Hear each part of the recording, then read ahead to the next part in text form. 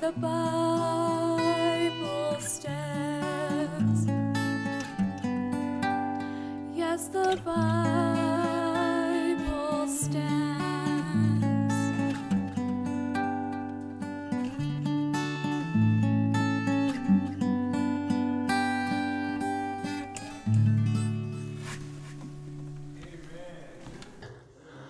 So I want you all to know that I, I respect your time.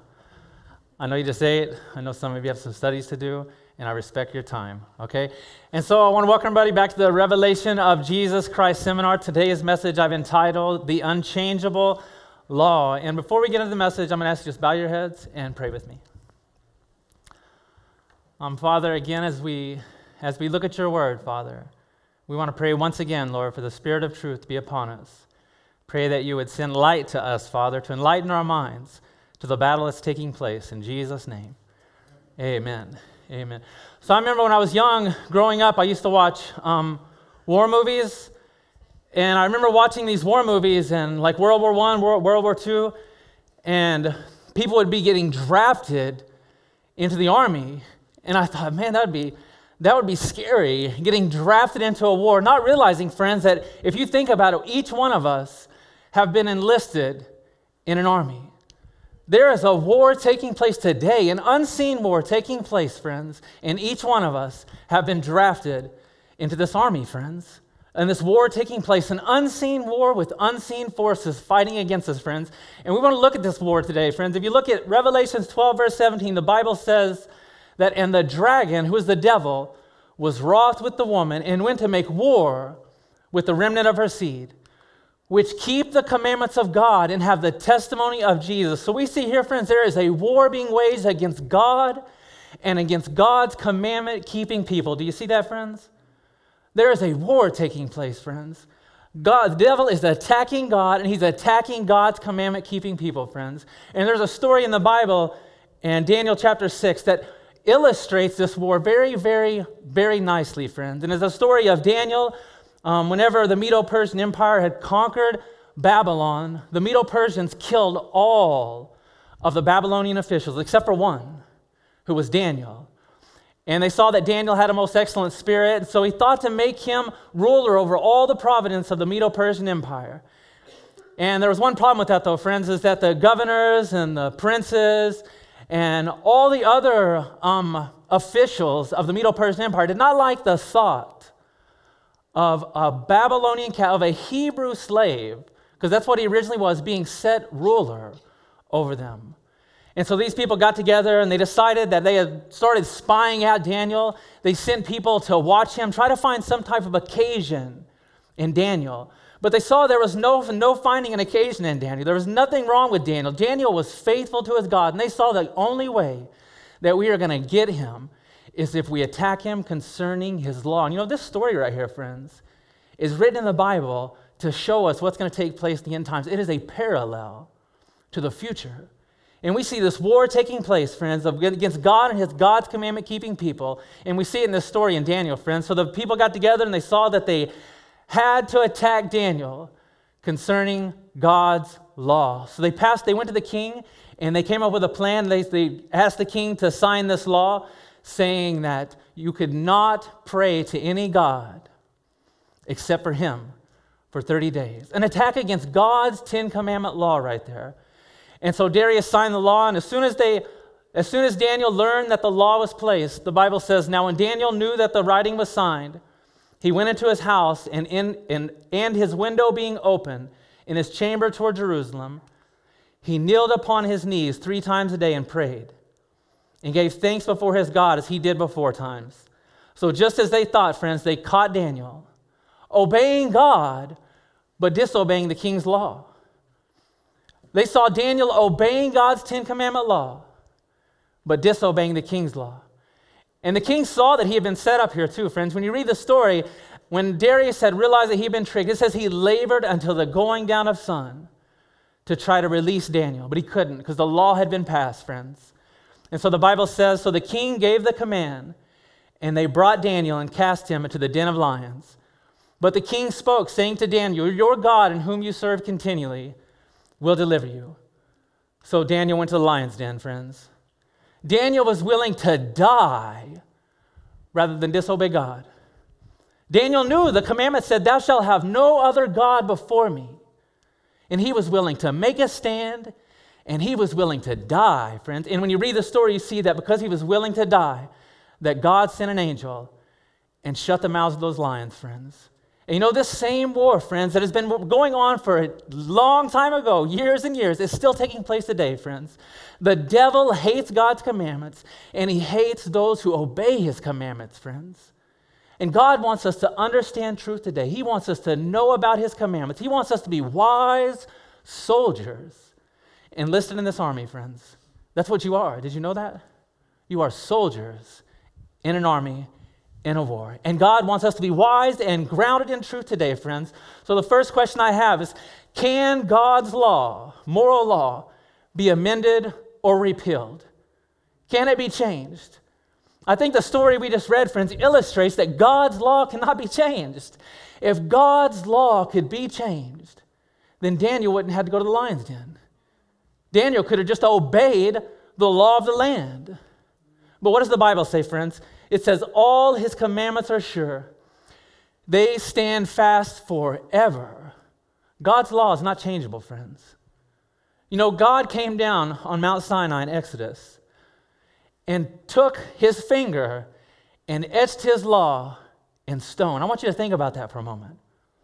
You know, the only part of the Bible that man did not write is God's law, his Ten Commandment law. He would not allow man to have anything to do with writing his law. He came down from heaven himself and etched it in stone with his own finger. Why do you think he did that? So that we would know that his commandments are forever and ever, everlasting, never to be changed, engraved on stone. The Bible says, For I am the Lord, I change not. God wants us to be wise and understand the war that's taking place in the world today, friends. Question number two is according to the Bible, what is sin? What is sin? The Bible tells us. You know, I love, I love the Bible because it's so simple to understand. Even a child could understand the Bible. I love simple, I love simplicity. I'm a simple guy. And the Bible says sin is the what? The transgression of the law. So the sin is breaking God's law. The Bible says, I had not known sin but by the law. I had not known lust except the law had said, Thou shalt not covet. You know, the Ten Commandments are a broad, broad law, friends. You know, Jesus came to magnify the law. You know, when the Bible says, Thou shalt not commit adultery, Jesus said to look after a woman and lust in your heart is breaking the law. When it says, Thou shalt not kill, the Bible doesn't just mean simply doing the act of killing. Jesus says to hate your brother in your heart is committing the act of murder. You know, the Bible says that by the law is the knowledge of sin. I want you to think about that for a minute. How would we know about our condition? How would we understand our sinful condition? Was it not for God's law? God's law is meant to open up our eyes so that we can see our condition and so that we can flee to Jesus. God's law is a blessing to us. Those struggling with adultery, those struggling with hating people, how would they know their condition was it not for the law? They wouldn't. God's law is meant to be a blessing to us. Praise God for his law. Friends, you know, breaking God's law is the reason for all the crime, all the sadness, all everything wrong with our world today, friends. I want to show you this statistic right here. Every hundred hours, more youths die in the street than were killed in the Persian Gulf War. That's amazing. All those deaths, friends, all because people are making God's law void, breaking God's law because of sin. Because of, you know, I've witnessed in my own life too. You know, I was 17 years old, my best friend died from a drug overdose because of sin, from breaking God's law. You know, I could tell you story after story. 26 years old, my best friend again was murdered on the streets of Tulsa, Oklahoma, dead. He was 26 years old. And that's just two people. Friends, I have witnessed with my own eyes what sin does, breaking God's law. God has blessed us with His law, friends, and He wants us to understand His law. God's law is a law of love, friends, and it is meant to show us our condition. God's law is meant to help us, to open up our eyes, to see our condition, friends. We need to praise God for His law. Next question Did Jesus keep the commandments? What do you think? Did Jesus keep the commandments? The Bible says, I have kept my Father's commandments. Jesus was a commandment keeper. Jesus believed in the law. It was Jesus that came down on Mount Sinai and gave that law, friends. That law of love, the law that blesses us, the law that brings life, the law that is not to bring death, friends. The law is to open our eyes, friends. How many people have sinned? How many people have sinned? We heard this earlier, friends. The Bible says, For all have sinned and come short of the glory of God. All have sinned, friends. Some say the Ten Commandments are not binding for New Testament Christians, but what does Jesus say? Have you ever heard that before? I know I did. We don't have to keep the commandments anymore. But what does Jesus say? Jesus says, If thou wilt enter into life, keep the what? Keep the commandments. You know, it's interesting. Every time that somebody asked Jesus, What can I do to inherit eternal life? You know what Jesus said every time? Keep the commandments. You know the law. There was one time somebody asked him, Which ones? And Jesus began listing off the Ten Commandments, friends. Jesus said, If you want eternal life, keep my commandments. Simple as that. Simplicity, isn't it? The Bible's simple, friends, and I praise God for it. Jesus says, Think not that I'm come to destroy the law or the prophets.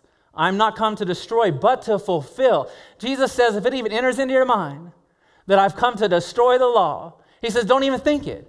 He says, do not even think it. He has not come to destroy, but to fulfill. Jesus keeps on saying, For verily I say unto you, till heaven and earth pass away, one jot or one tittle shall in no wise pass from the law till all be fulfilled. I have a question for you, friends. Is heaven and earth still here?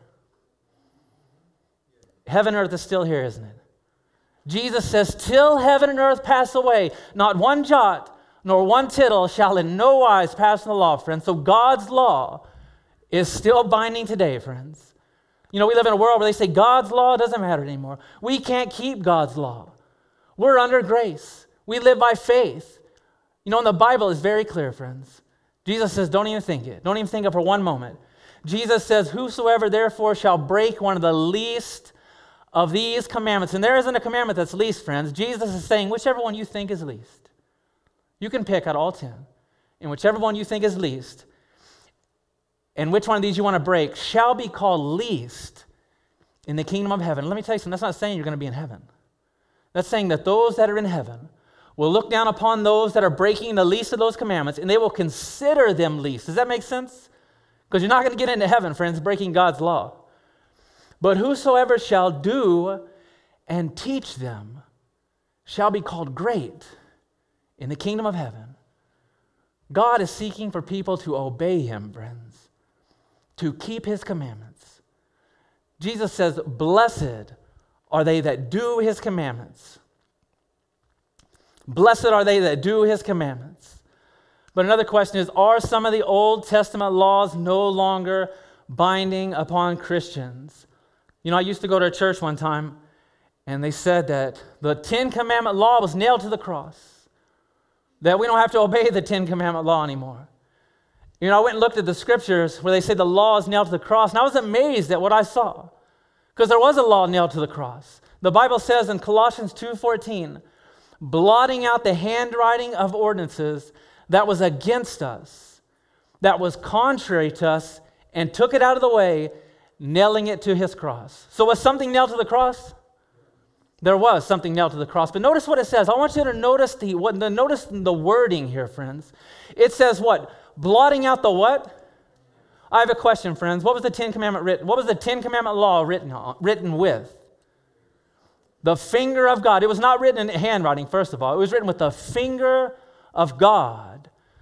So this law right here was written in handwriting, and it was ordinances which was contrary to us. I have a question for you. Was God's Ten Commandment law contrary to us? Was it against us? No.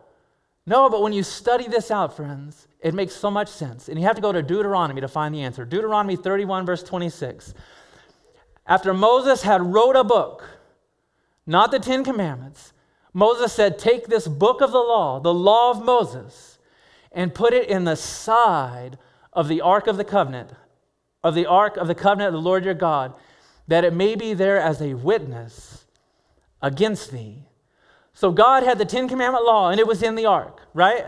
The two tables of stone. And Moses told the Levites to put this book beside the ark, that it might be there as a witness against the people. So, what, what, what law was nailed to the cross? Moses' law, it's very clear. Right here it tells us this book, the law of Moses, was nailed to the cross. Not God's Ten Commandment law, friends. Not God's law at all. Next question is how is it possible to keep the commandments? How is it possible to keep the commandments? You know, we see all these scriptures where, where we're told to keep the commandments and to obey God. But if you're like me, you found yourself struggling sometimes to do that. Have you? Am I alone? I don't think I am. I don't think I am at all. But I want you to notice this right here, friend. This is the most important part of this whole sermon right here.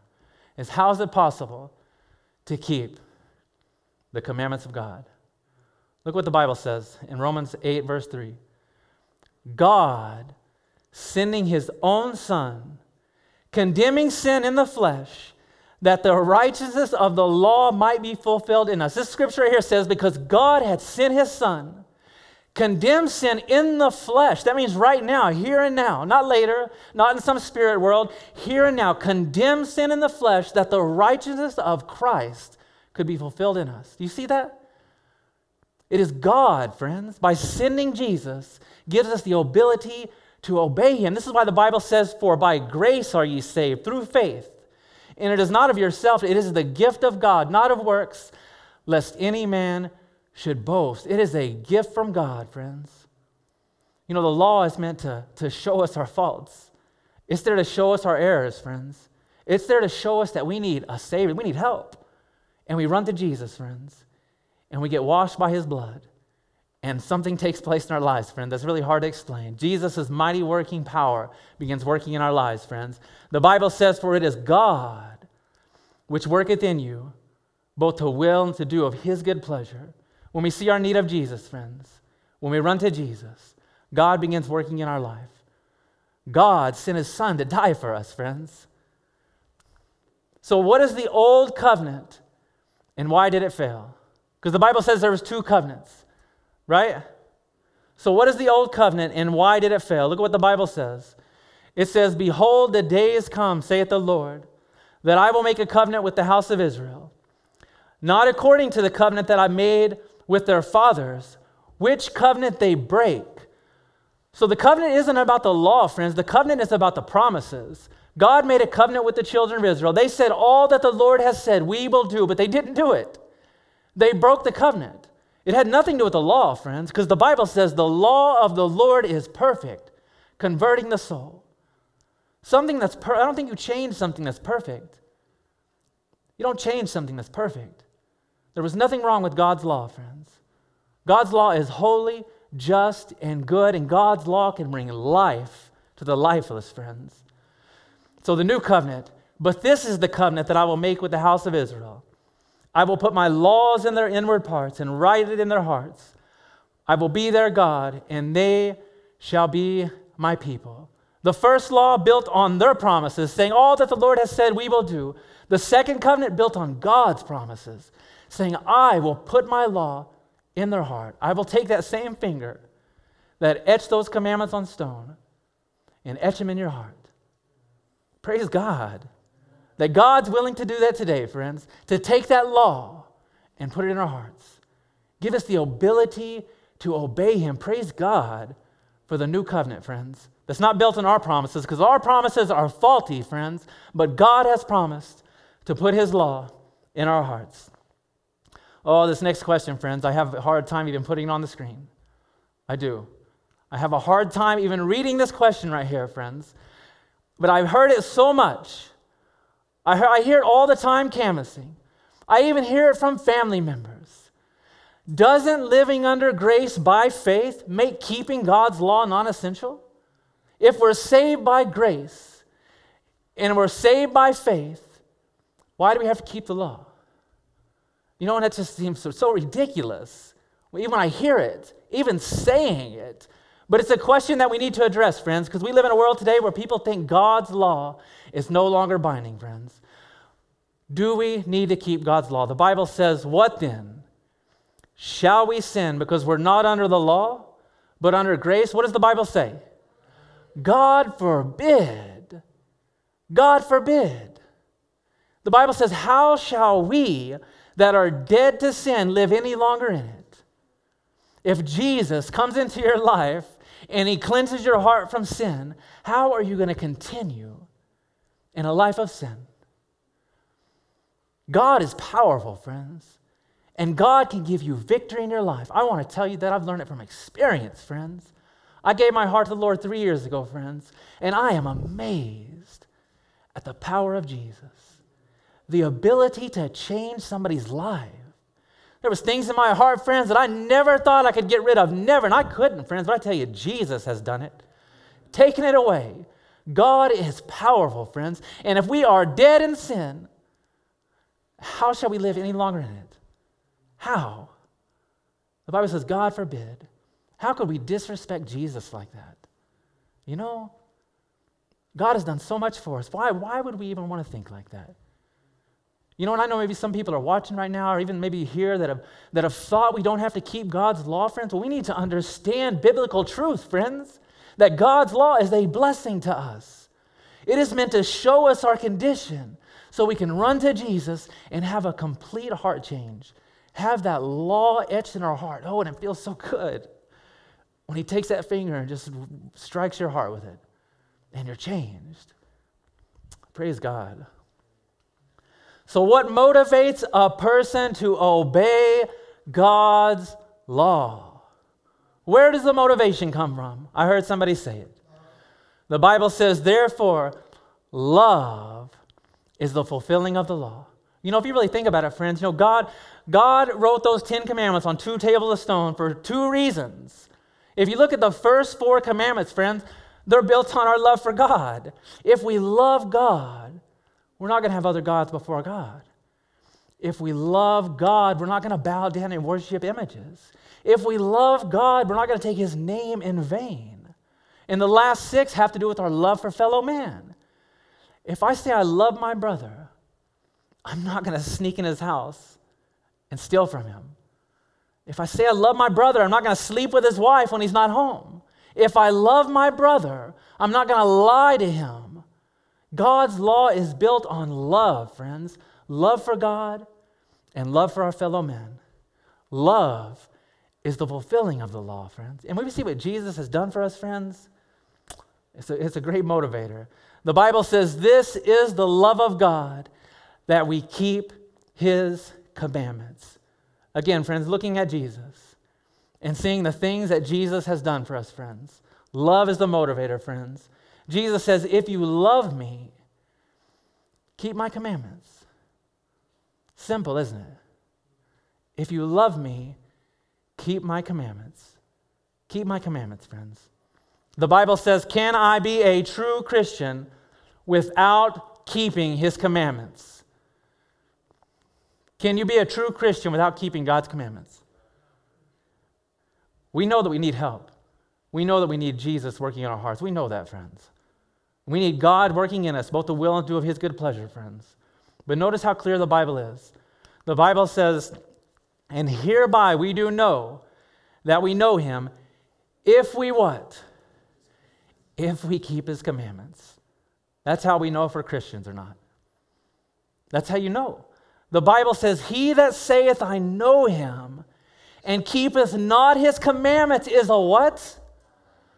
A liar. That's a strong statement, but you know what? It's true, and it's in the Bible, friends.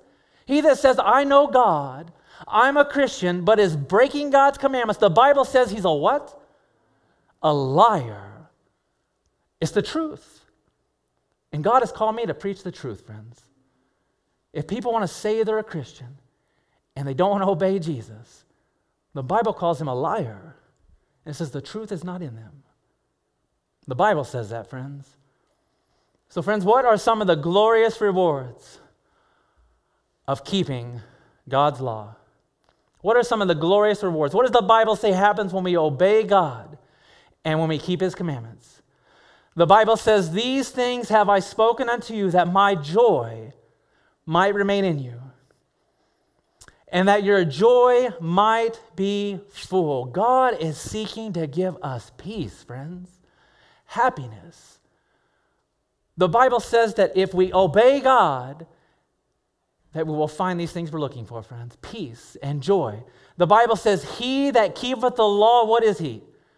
Happy is he if he keeps the law. Obeying God's law, friends, brings happiness. It brings, you see why the devil is attacking God's law? The devil is a liar, friends.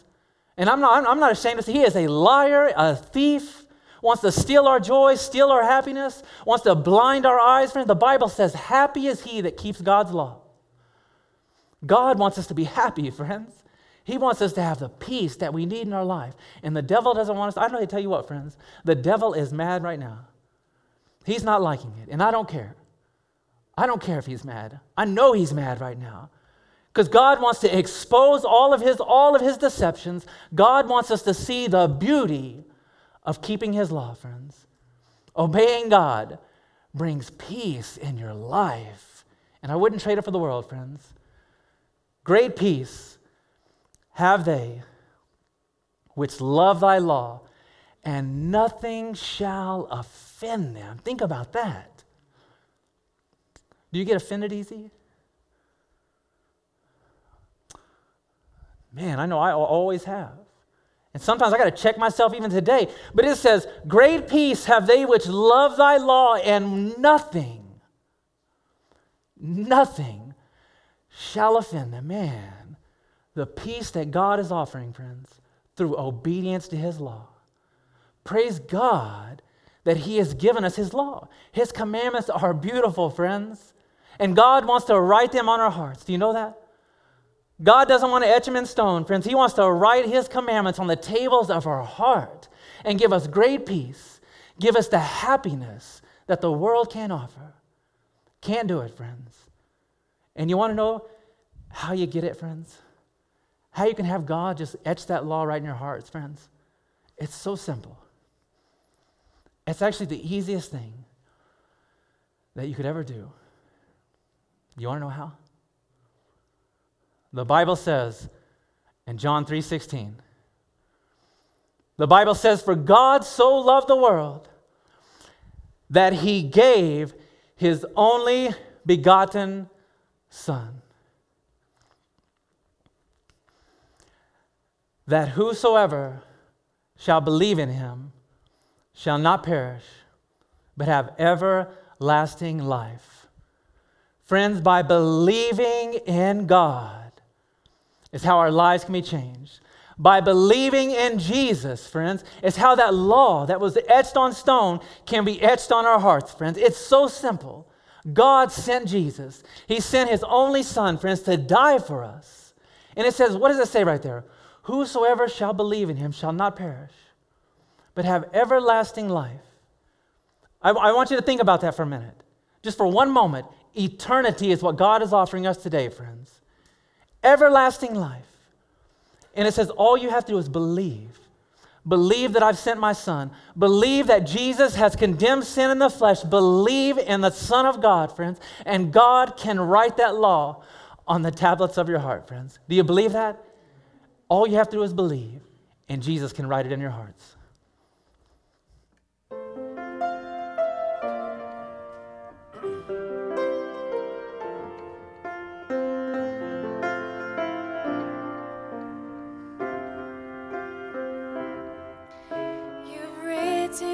what you want for me in stone, a reflection of your character alone.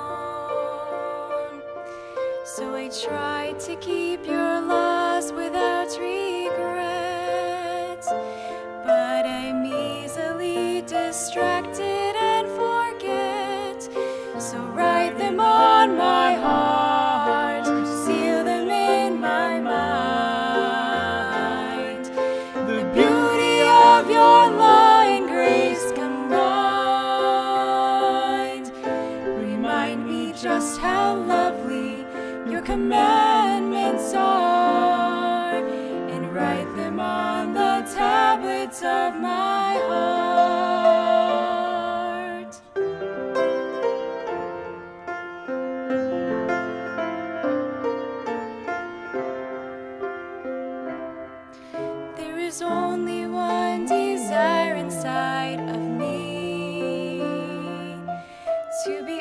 that you've created me.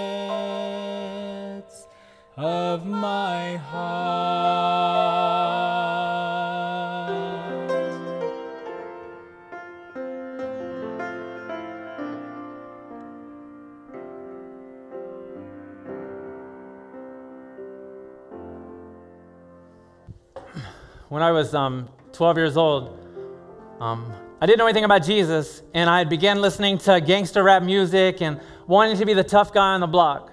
12 years old. And I remember I had my friend over to my house one day, and we seen some kid, young kid, walking down the street. And I thought, okay, this is my time to look tough. I'm going to teach my friend how tough I really am. And so we ran outside, and I ran up this little kid. He was like this tall. And I got in his face, and I started cursing at him calling him all types of derogatory names, all in his face. And I remember this kid said, Josh, please stop. I'm sorry. And I cursed at him and I cursed at him and I got in his face and calling him all these drugs. And all he kept saying was, Josh, I'm sorry. Please stop. And it didn't enter to my mind, how does this guy know my name?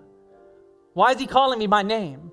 And after I was done, after I felt like I, after I felt accomplished, like I had done something, I went in the house, and as I went in the house, all of a sudden, I remembered. I remembered who he was.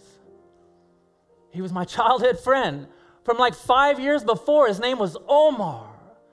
He was my friend. And I remember, friends, I felt there was a guilt and a shame that came over me like I've never felt in my life. I was 12 years old. And I was just weighed down with this horrible guilt, horrible shame, so embarrassed, could not believe what I had just done. I began crying. I went and got the phone, but all I remember was his name was Omar. I went and got in the phone book and looked up every person named Omar. I started calling them, telling them who I was, wanting to know if this was the Omar I knew, and it wasn't. I was felt so I've never felt something like that in my life, friends, because I had violated God's law and I didn't know it. I didn't understand God's law. I didn't know that this law that He wanted to write in our, write in our hearts keeps us from having to experience that guilt and that shame. You know, that's what God's law is for, friends. It is to keep us guarded so that we don't have to experience guilt and shame and embarrassment. God's law, friends, is a blessing to us. You know, I'm so thankful that today, friends, Jesus has lifted that guy. I never got to see Omar again. I never saw him again. But I know God has forgiven me. And I pray Omar, even if he's watching now, that he forgive me too. But that's what God is desiring for us to, to do for us, for to guard us so that we don't have to have that guilt and shame. You know, maybe there's somebody watching right here or somebody here, maybe that's suffering, maybe they've committed adultery, cheated on their spouse, weighed down with the guilt and shame of cheating on their spouse. Maybe they're suffering from addiction. Maybe they're weighed down with the guilt and the shame from destroying their whole family. God can put that law into your heart. He can do it even tonight, friends, so you don't have to experience the guilt and shame of a life of sin.